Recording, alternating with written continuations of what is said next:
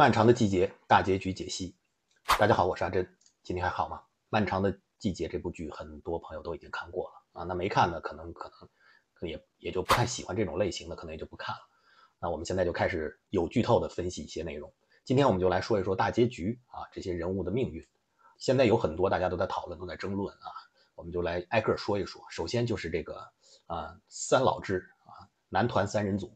其实我是把最后两集看作是大结局的啊，从十一集和十二集，我觉得这整个可以当做一部大概接近三个小时的电影来看。他把前面所有密密麻麻的埋伏的线头啊，故事的走向啊，然后人物的命运一个一个都揭示出来了，然后最后也把谜题解开。第十一集的时候啊，三老之这个在卡拉 OK。啊，一通这个群魔乱舞之后啊，那段戏印象太深了，相信大家看过的都会啊心有戚戚啊，真的是演的太好了那一段啊，而且非常的有喜感，会成为名场面的，一定会成为名场面。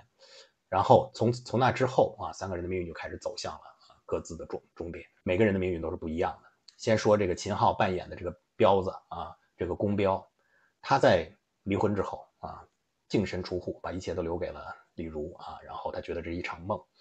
感觉他自己是想开了，然后很多事情都淡然了，把自己养了多年的鸽子不下蛋的鸽子也都给放。然后呢，他走过那个彩票店的时候，有一个细节，彩票店的老板跟他说：“彪子，你买彩票。”他没买啊，他走了。他应该是有击打的一注，他就是长期有击打的那一注，他那天没有买，这是一个细节。然后他开着车，这个买了早点啊，去找他们，想去卡拉 OK 去找他们两个，那两个不还在卡拉 OK 睡觉吗？他在路上听这个彩票播报。他手里拿的那个彩票啊，我认为，我认为那是以前的彩票，因为他是机打的，每一期都是一样的号码，应该是。他听着听着听着中奖了，但是他没有看前方，前方出来一个大车，然后他一把方向直接就干到水里去了。但当时有一个慢镜头，他在往水里走的时候啊，他表情是非常开心的，非常快乐的啊，就是他认为他是中了彩票的。但是我觉得啊，因为什么前面要有个细节，他那天没买彩票，所以我觉得这个呃导演的这个编剧是把这个公标这个最后的命运。是没有让他最后尝到一丝丝的喜悦，他那个开心，可能是一种释然吧。这一辈子真的没什么意思，我这辈子就这样。他离婚的时候他也说了，所以就那么掉到河里去了，也就这么走了。我认为他最后是没有中彩票的。很多朋友说，哎，你就不能让他中个彩票，然后去医院把他那个那个药店的那个小小朋友接接出来，然后再重新重新开始啊新的生活？嗯，可以啊，但是，嗯，这可能就。不太符合这个人物的这个走向嘛？啊，他这里他这一辈子就是相对悲剧化的，而整个的这个故事的框架就是在喜剧的外表下演绎了一出悲剧啊，人间悲喜剧。三老之的命运都不太好啊，公彪就这么走了啊，这是也是让我最意难平的。当时整个这一一段戏下来，包括他最后在殡仪馆，例如来看他，要给他化，要给他化妆，要跟他这个最后的告告别吧，告白告别，整个一段戏看的我都非常的压抑，非常的难受。这个人物的一生真的是。哎，怎么说呢？太悲苦了，以后再专门就这个人物再说一期。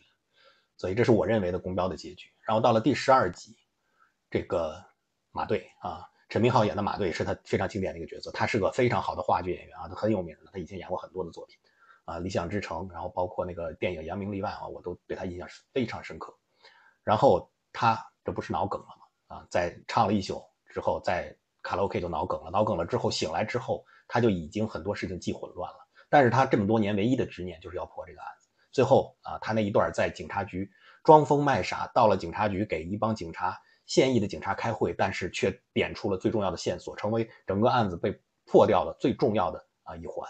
他在警察局的那段戏啊，就是又疯又不疯，然后在这个中间来回拿捏，然后很多细节 通过那个时候传递出来。我觉得那段戏处理的非常的好，也是整个这个人物的悲剧性命运的啊最后的一个注脚。他这一辈子也是孤苦伶仃、丧偶，没有子女啊。然后为了这个案子，当时脱掉了这身官衣，但是二十年的时时间，他始终过不去。他也在心里头，他也一直认为自己是有责任破这个案子的，所以这是他的执念，他放不下的过去，他没办法向前看。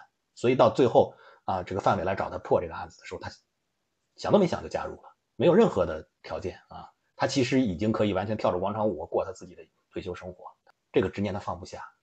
他最后也是非常惨的，脑梗了之后行动都不便，说话都不利索啊！但是他心中就是这个案子，最后也是因为通过他的努力，这个案子才最后算是真相大白吧，整个这个闭环形成了。那最后马队的命运也是非常的惨，也不没人管他了。三老之那两位是吧？最后是什么结局？那可能这世界上最后就剩下他一个人。然后我们再说范伟这个角色，这个可能是争议最大的。范伟到底最后是活下来了还是死去了？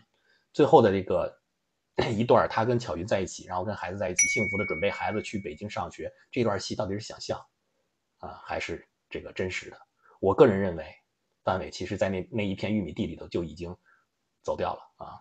这个前后是一个完美的这个呼应。一开始第一集的时候，在玉米地里头小便啊，他他因为这个这个肾不好啊，总要小便啊，总要嘘嘘。然后在玉米地里嘘嘘，然后他在玉米地里看到那边的火车声，听到那边的火车声，然后往那边走的时候，那个背影里头，玉米地上躺着一个穿红毛衣的人形，非常快的一划而过，啊，你不注意看是看不到的，但是我认为是说明他当时已经没有了啊。然后他走出那片玉米地啊，看到的二十多年前的自己开着火车，然后他跟二十多年前的自己说向前看，别回头，这意味着他跟他之前的自己是和解了啊。他终于释然了，他的儿子没有杀人，他儿子是个好孩子，是为了救人而死的。他心里吊的这口气啊，也释然了，放下了这口气，他真的也就坚持不下去，因为他心脏是有支架的嘛，所以可能就当时心梗就去了。然后后面的所有的这些事情啊，跟巧云在一起啊，跟孩子在一起啊，那都是那都是美好的想法吧，可能是最后一丝温暖，导演给了我们最后的一丝温暖。其实，在出租车那场非常经典的跟乔云对白那场戏，他就已经放手了啊，就跟彪子放手让丽茹走一样啊。最好的爱是手放开啊，最后最后的疼爱是手放开啊，让让你走，我自己留下承受一切。其实最后这三老位啊，三老之的命运是多么的悲苦啊啊，是多么的让人意难平啊！真的是看得我心里头真的是无比的纠结，无比的难受。但是没办法。这个故事框架就是这么定的，所以我觉得这样的故事走向反而在最后增加了它的这个呃史诗感啊和这个这部让这部剧整个的升华了起来。不是说好人就会有好报的，太多太多的好人最后都是落了这么一个结果，这才是真实的生活，哪有那么多老天开眼，哪有那么多善有善报恶有恶报？多数时间普通人就是无能为力的，对自己的命运就是无能为力的。但是相对来说，他们三个虽然最后是这样的结局，但是他们的心结是解开了。公标的心结是解开了，让丽茹走了，给他幸福，给他爱，让他走啊，然后自己中了彩票了，鸽子们也自由了，他心里是放松的。马队也是，最后的案子破了，心结解开了。这个王响也是啊，我的孩子是个好孩子，我跟我的过去和解了，我心里头这口气一松，我也就可以踏实的去了。这是我的一个想法，所以大结局里头三小三老之的命运，我认为应该是这样的，就是王响。和彪子都走了，然后剩下马队一个人，这个结局是非常沉重的。